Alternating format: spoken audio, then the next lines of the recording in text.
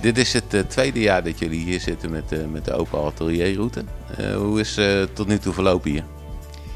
Ehm, ja, het regent buiten behoorlijk en de mensen komen vrij nat hier binnen eigenlijk. Dus de aanloop vanochtend is nog niet 100%.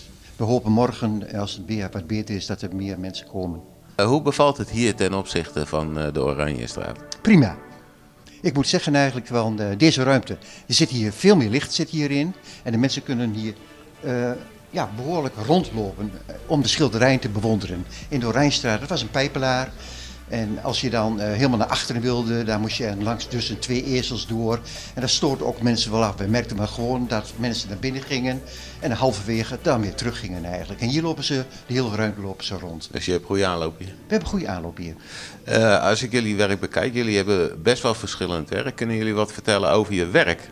Dus waarom mensen hier naar binnen zouden moeten komen om te kijken naar je werk? Eh, nou, het is verschillend. Dat is al één ding. Winnie heeft een wat lossere stijl. En ik zit een beetje in, ja, zoals je hier ziet, stillevens. En eh, dus wat realistischer eigenlijk. Dus ja, aan de ene kant is voor elk wat wils. Maar je ziet hier ook wel abstract werk. En waarom hebben jullie specifiek gekozen om met elkaar iets op te zetten? Want daar ben, het, eh, ben ik wel heel nieuwsgierig naar. Daar kunnen we eigenlijk niet meer over uitrijden, denk ik.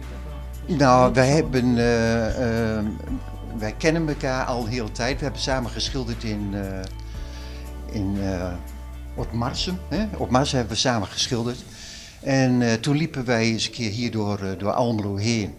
En eh, ja, al die leegstand. En toen hebben we gezegd van, we moeten eens proberen of we een ruimte kunnen een gebruik huren. Dat kan niet, dat is veel te duur. Maar we gebruik mogen maken van een, een ruimte. En dat is ons gelukt aan de Wijnstraat.